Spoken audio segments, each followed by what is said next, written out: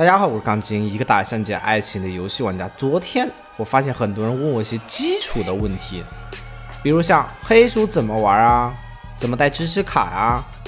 个人感觉，所有的知识卡还有玩法都是根据自己来设定的，别人的不一定是好的，但是你的一定是最适合你的。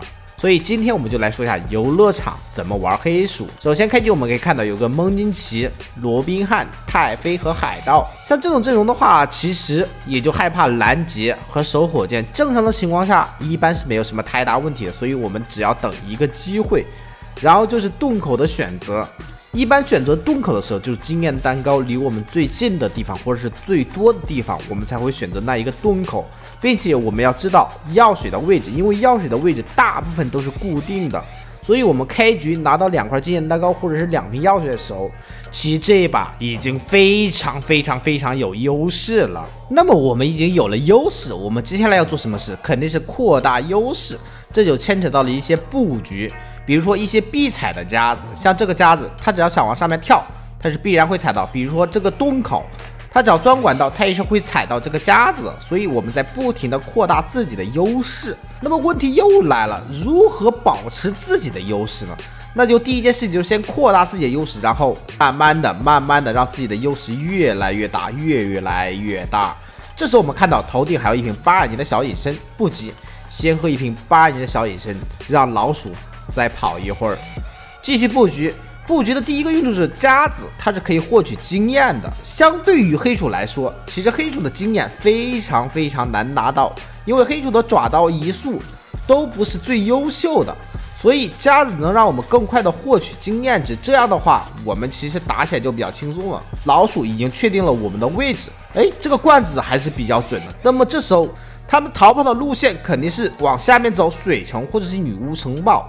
这时候我们要主抓女巫城堡的，因为我们知道已经有夹子。这时候我们注意到罗宾汉开的伞钻管道，所以他没有踩到夹子，但是问题不大。前面我们还放了一手夹子。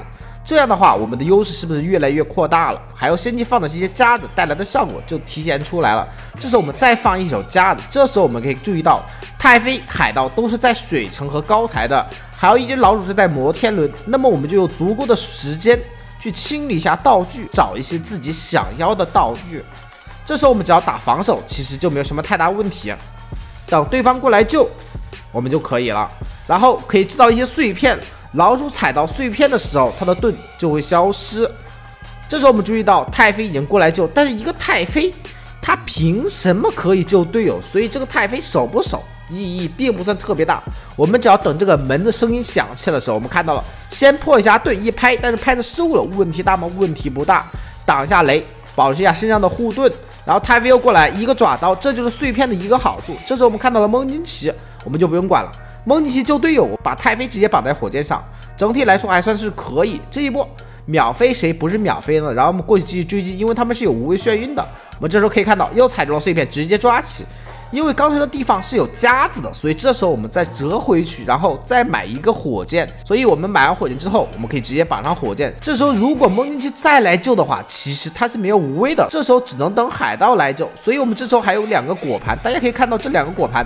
黑主在点完二级被动之后，果盘是有伤害的。如果你觉得对面隐身的话，我们可以提前使用果盘，然后我们等一个机会，看看他们到底来不来。蒙尼奇这时候来了，先打一个爪刀，手上有拍子，我们看他会不会下车，直接一拍，直接抓到。这时候我们可以注意到海盗是在上面的，我们可以利用冲撞击倒蒙尼奇，顺便把炸药桶撞飞，然后利用果盘直接一套击倒海盗。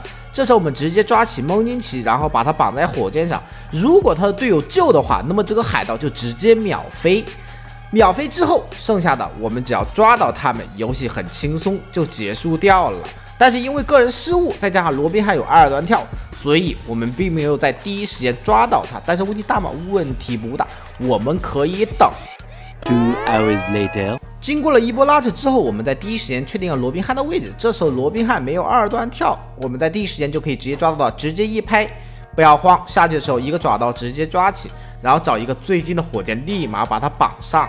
这时候我们可以确定蒙尼奇是在女巫城堡，所以他这个时间段是过不来，所以我们可以提前布局。因为我们打的是蒙尼奇，他必然会开车过来救队友，所以我们也不用慌，买一手拍子，然后等着他过来就行。这时候他来了一个爪刀，并没有打中。这下就有点亏了，因为黑猪的爪刀时间还是有点长的。然后我们再等一个爪刀，一个爪刀，但是对方一个冲刺直接下去了，就没有给我们太多的机会。这时候我们再来一个爪刀，直接命中他的车要爆了。这时候要稳，一定要稳，不要像我一样。这时候我就一不小心被车炸到，然后他救下他的队友，但是他队友第一时间还要和我卡位置，这我怎么会派他？所以很快他就倒在了地上。就这样，有一个秒飞，我们有三级桶盖，那么不用想，这个秒飞我们是绝对可以绑上去的。